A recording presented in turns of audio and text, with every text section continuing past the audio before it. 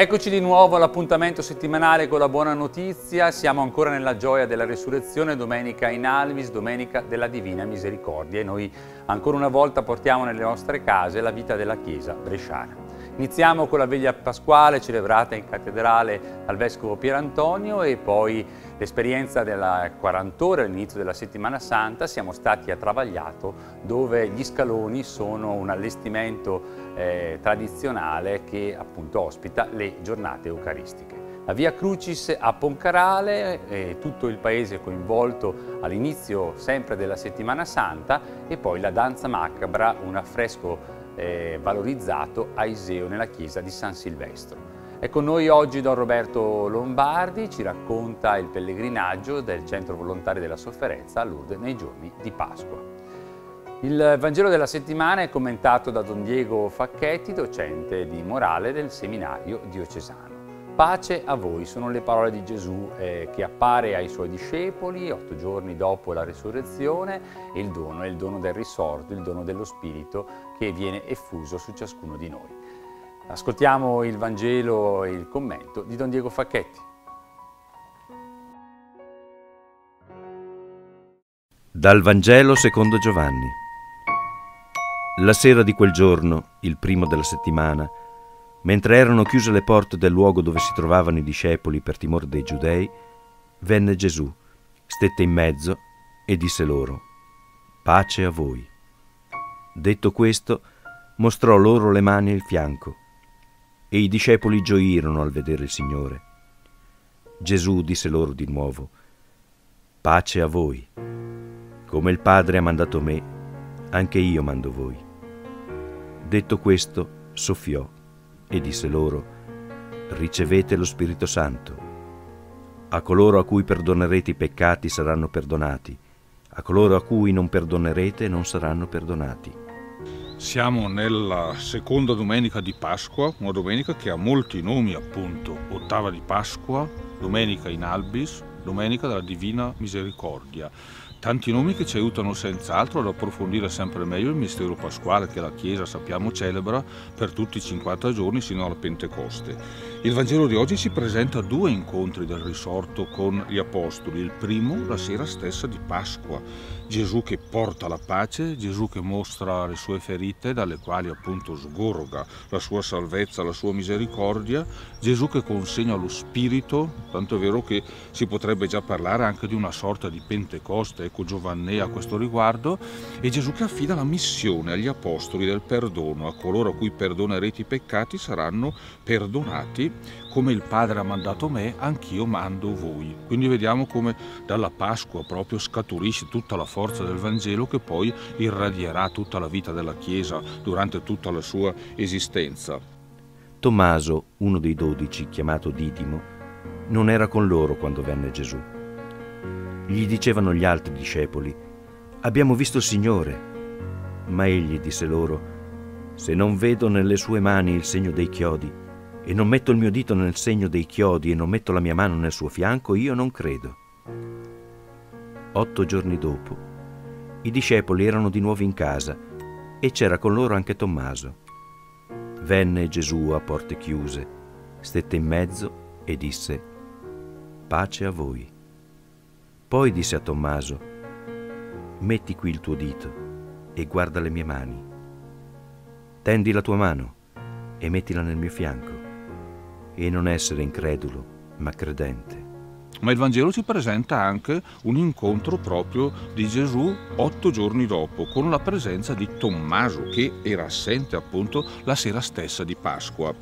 E qui abbiamo allora come Gesù senz'altro eh, offre di nuovo il dono della pace, ma viene incontro a quello che è il dubbio, no? quella che è la difficoltà di Tommaso, che in fin dei conti alcune volte potrebbe essere anche la nostra, no? questo desiderio continuo di vedere, di toccare, ah se io potessi, se io avessi la possibilità al riguardo, e Gesù appunto viene a, a, mostrare, a andare incontro appunto a Tommaso, metti qui il tuo dito, guarda le mie mani, tendi la tua mano e mettila nel mio fianco, non essere incredulo ma credente.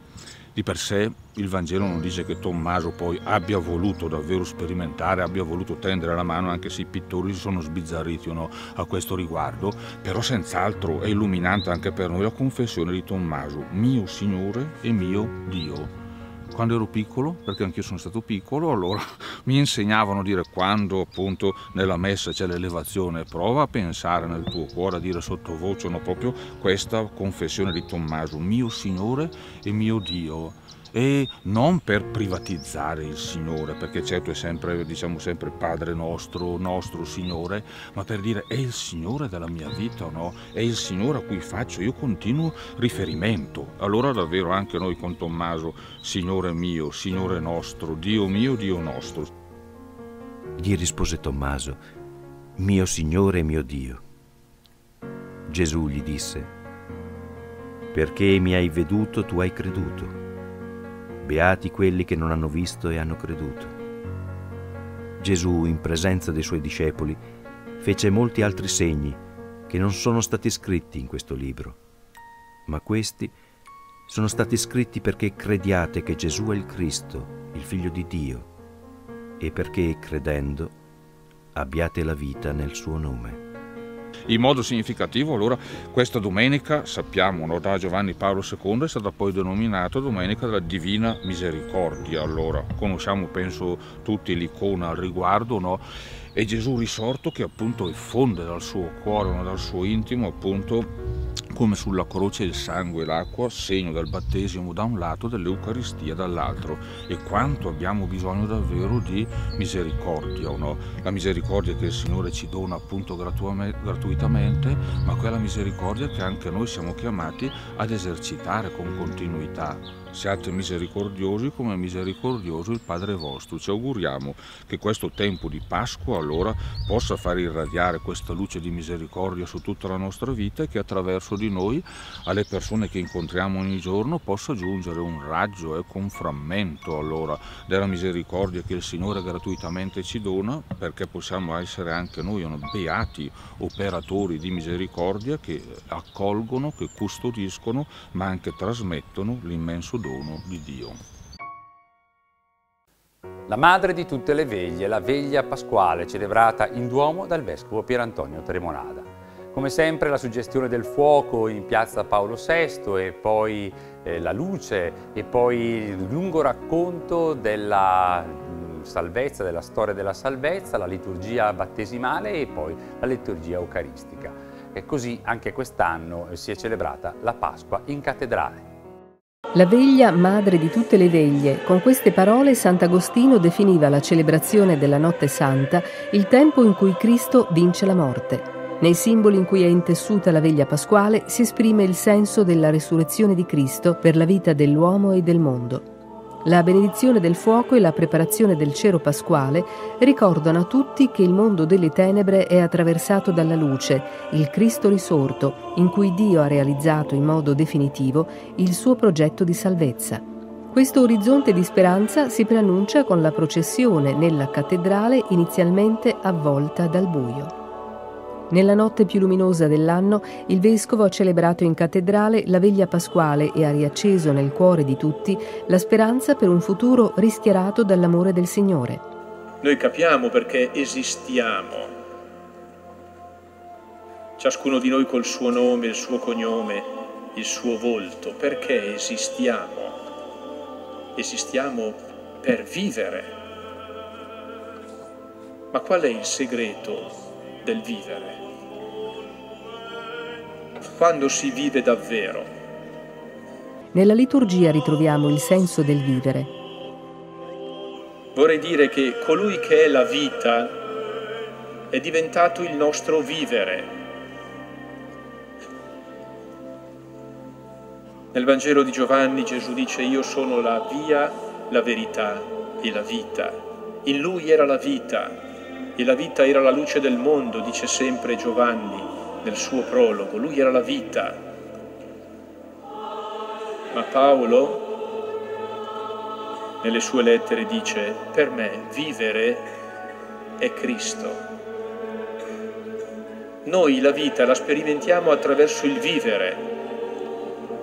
Il vivere è la vita nella sua concretezza, è la nostra vita di ogni giorno, che è fatta di desideri, di pensieri, di intenzioni, di parole, di decisioni, di azioni. Come sono le nostre parole? Come sono i nostri desideri? Come sono le nostre intenzioni? Come sono le nostre azioni? Com'è il nostro vivere?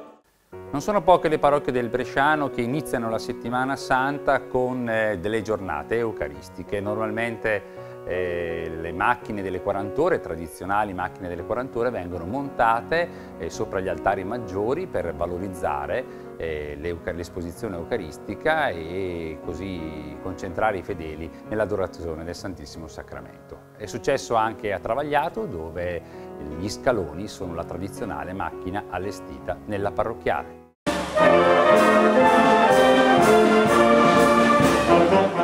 Sono ancora numerose le parrocchie bresciane che mettono nel loro calendario pastorale la celebrazione delle 40 ore tante quelle che collocano questa pratica devozionale consistente nell'adorazione per 40 ore continue del Santissimo Sacramento a ricordo del tempo trascorso fra la morte del Venerdì Santo e la risurrezione nella Domenica di Pasqua di Gesù, a partire dalla Domenica delle Palme. Le 40 ore per Travagliato sono un momento senz'altro particolare, significativo, ci tengono tantissimo qui e chiaramente esige tutto un, un momento di preparazione, un, uno sforzo anche concreto a cui la gente molto volentieri dedica tempo.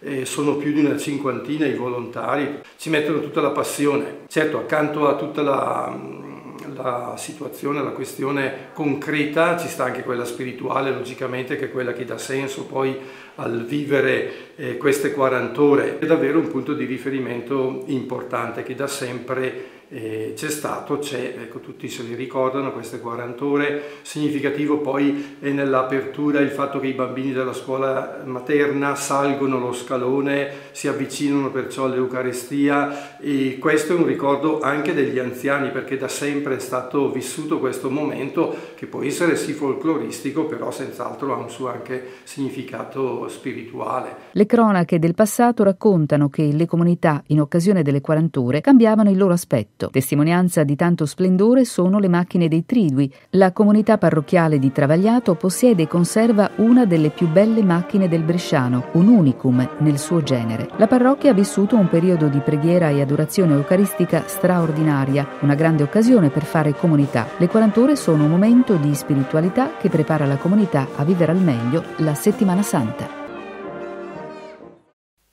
Via Crucis vivente a Poncarale. Da oltre 23 anni, anche quest'anno, nonostante il maltempo, si è ripetuta la tradizionale Via Crucis con eh, personaggi eh, diciamo della passione e tutto il paese che mh, per settimane allestisce questo momento di devozione e di ricordo appunto della passione del Signore.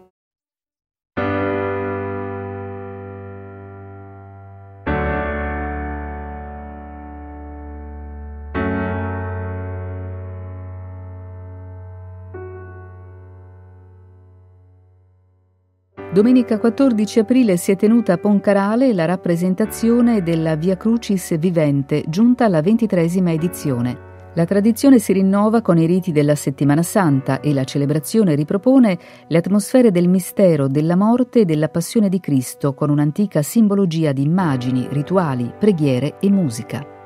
Fin dalla prima manifestazione, risalente al 1996, la Via Crucis ha sempre riscosso un successo crescente. Vengono coinvolti nell'organizzazione più di 200 volontari tra interpreti, figuranti, tecnici delle luci e del suono, carpentieri, elettricisti, costumisti e scenografi.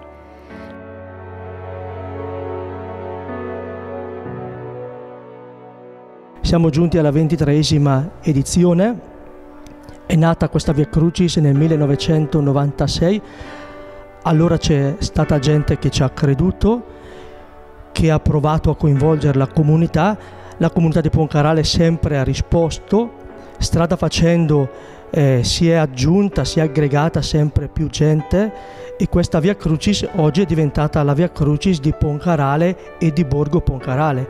Sono più di 200 i figuranti, un sacco di gente da una mano per i costumi, per eh, la scenografia, per preparare tutto e penso sia un bel evento che valga la pena eh, provare a portare avanti anche negli anni a venire.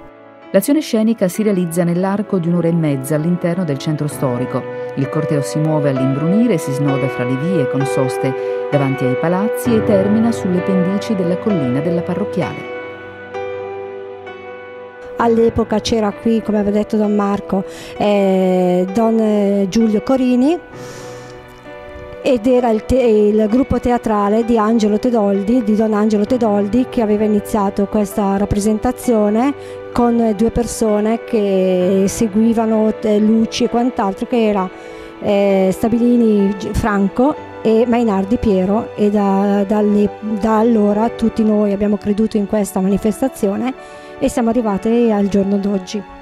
La rappresentazione ripercorre le 14 stazioni, dalle scene dell'ultima cena all'agonia di Gesù nell'orto delle Getsemani, la cattura, il processo, il calvario e la crocifissione, dove le tre croci svettano nel buio della notte.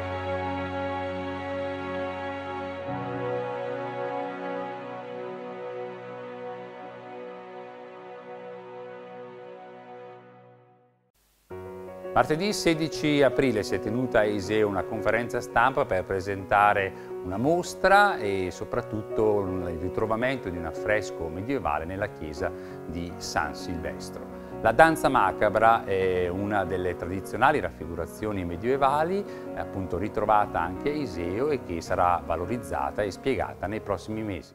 Danser avec la mort a Iseo la parrocchia di Sant'Andrea Apostolo e l'associazione Amici della Pieve hanno inaugurato una mostra a partire dal grande dipinto che rappresenta la danza macabra conservato nella chiesa di San Silvestro. È una delle più antiche e significative testimonianze della storia plurisecolare della comunità iseana. La danza macabra è un grande affresco che si trova nella chiesa di San Silvestro, una chiesa già antichissima, eretta probabilmente nel XIII secolo e che costituiva a quell'epoca la cappella cappella privata del vescovo di Brescia quando veniva Iseo.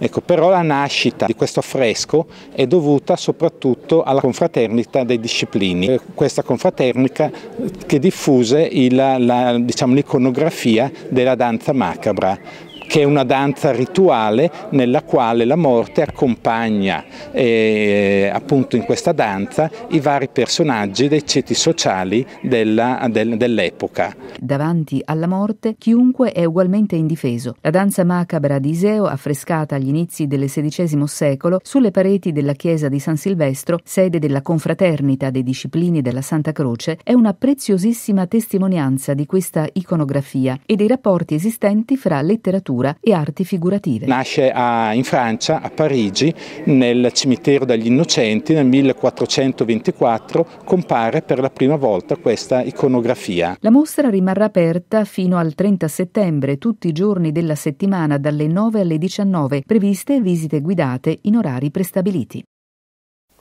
È con noi oggi Don Roberto Lombardi, assistente spirituale del Centro Volontari della Sofferenza di Brescia. Bentornato Don Roberto, bentornato Grazie. da Lourdes anzitutto perché il Centro Volontari della Sofferenza vive la Pasqua ogni anno appunto nella casa di Maria a Lourdes, davanti alla grotta di Lourdes dove Bernadette ha incontrato la Madonna. E qual è il senso di questo itinerario, di questo pellegrinaggio che vivete ogni anno proprio nelle giornate di Pasqua?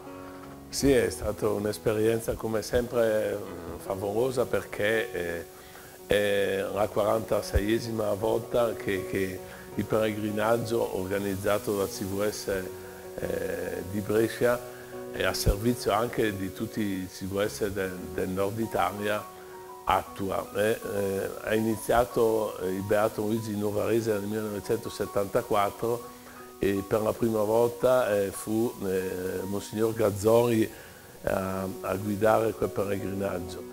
È stata un'esperienza molto intensa eh, perché avevamo un, un, gruppo di 560 60 eh, pellegrini, di cui 200 malati e 60 carrozzine eh, non autosufficienti naturalmente. Quindi potete immaginare anche tutto lo sforzo organizzativo.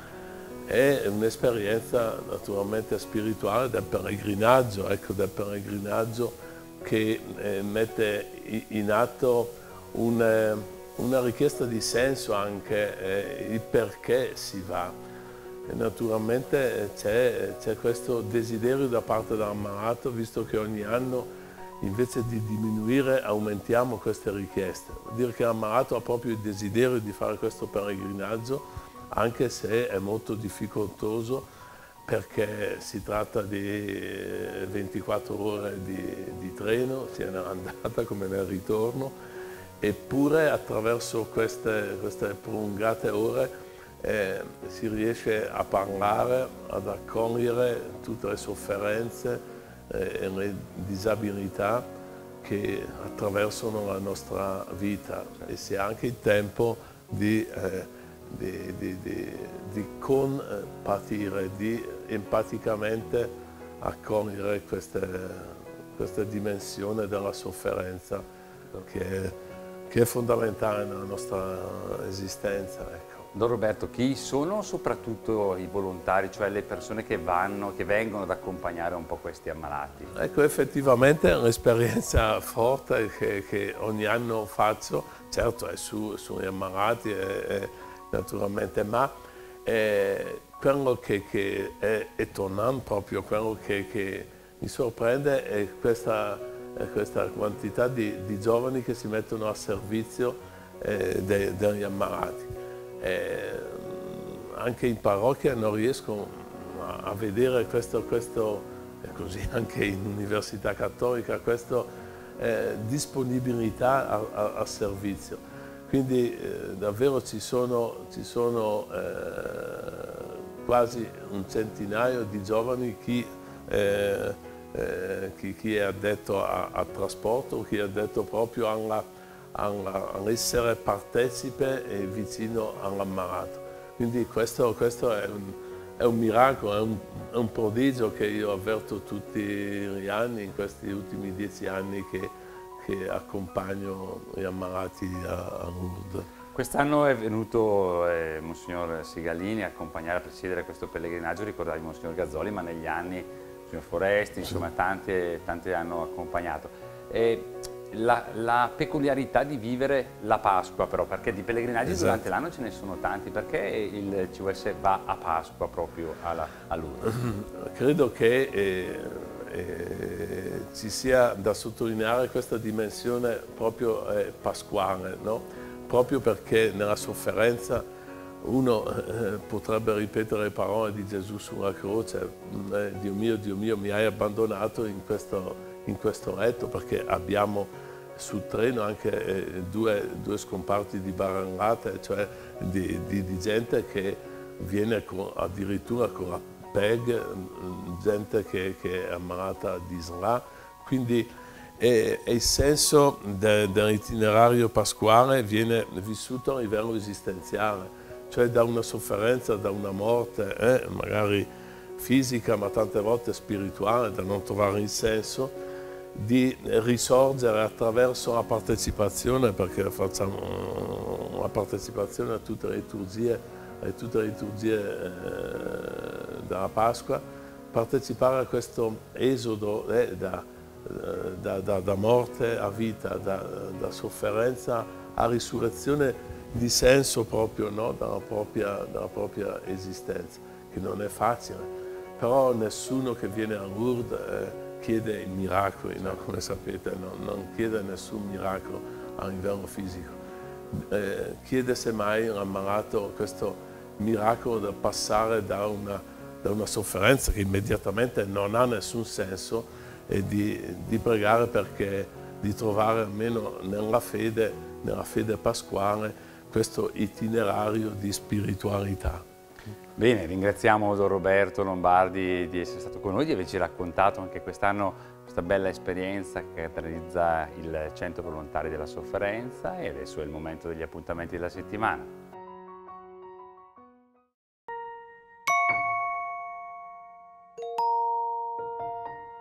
Mercoledì 1 maggio alle ore 9.30 presso l'oratorio di Bovezzo si incontrano i chirichetti della diocesi per il loro tradizionale meeting. Sempre mercoledì 1 maggio alle ore 16 presso la RSA, la residenza in città, il Vescovo Pier Antonio celebra la giornata del 1 maggio. Giovedì 2 maggio alle ore 20.30 presso la sala della comunità Corallo di Villanuova sul Clisi inizia il corso di formazione per i ministri straordinari dell'Eucaristia. Sabato 4 maggio alle ore 10 a Trenzano il Vescovo Pier Antonio celebra l'Eucaristia in occasione del patrono San Cottaro. Come sempre i nostri servizi li trovate sul giornale online a voce del popolo.it, continuate a seguirci nei social, in Facebook, in Twitter, in Instagram e in YouTube. L'appuntamento è alla prossima settimana con la buona notizia, continuate a seguire anche il nostro canale YouTube con le testimonianze dei figli donni da tutto il mondo. Grazie di averci seguito e ancora buona Pasqua nel Signore.